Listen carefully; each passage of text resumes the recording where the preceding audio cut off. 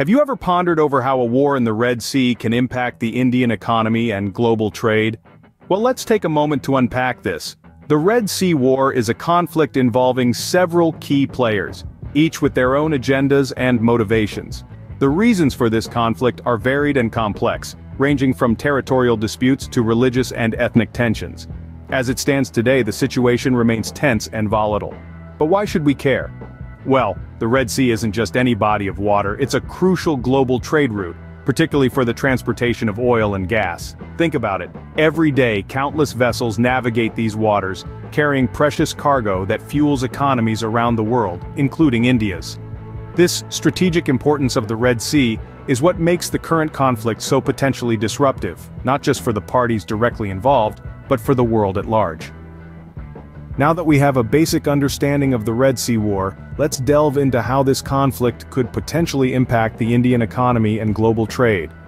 India, a major global player, could face significant consequences from the Red Sea War.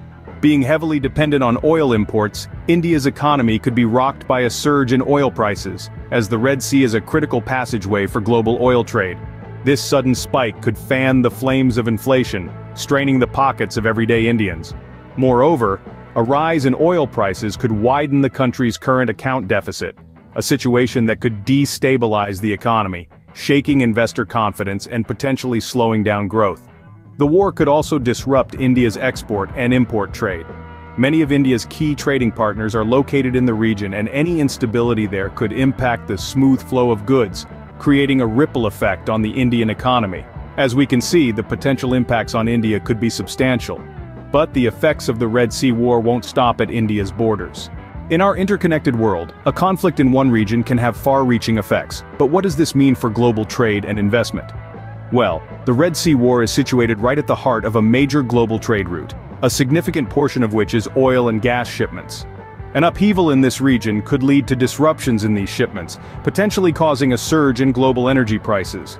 This wouldn't just affect the petrol at your local station, but could also ripple through various industries causing supply chain disruptions and increasing the cost of goods worldwide. On the investment front, geopolitical uncertainties like a war can make investors jittery.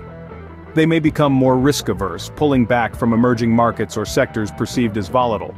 This could lead to a slowdown in global investment, further impacting economic growth. The Red Sea War therefore has the potential to send shockwaves through the global economy, impacting not just India, but countries and investors around the world.